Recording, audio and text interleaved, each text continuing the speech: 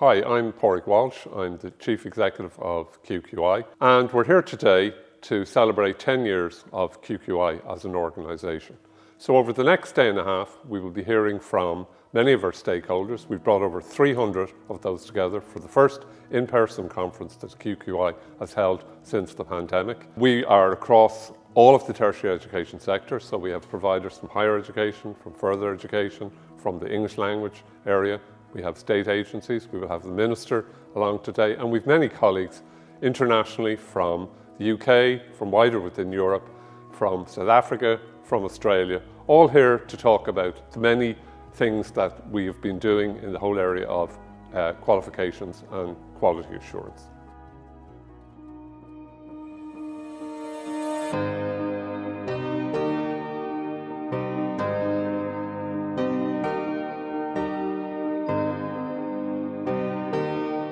The QQI staff have been amazing. I've met some interesting people. At an incredible event.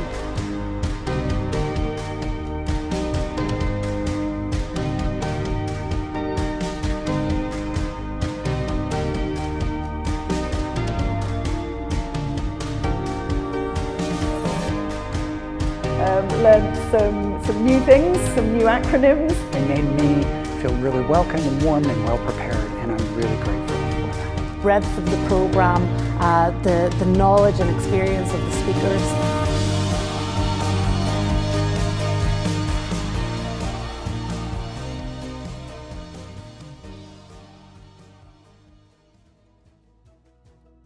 Over the past day and a half, we've heard from our many contributors, from our stakeholders, about many themes to do with quality and qualifications. We've heard about the importance of the student voice, about the really important aspect of protecting academic integrity, of making sure that we're on top of things like digital transformation, but I suppose most importantly, echoing the theme of the conference, which was about strengthening strategic partners to effect system change, recognising that we can only do these things by working in partnership uh, with our stakeholders. So we leave today with that knowledge and commit ourselves over the next number of years to continuing that strategic partnership.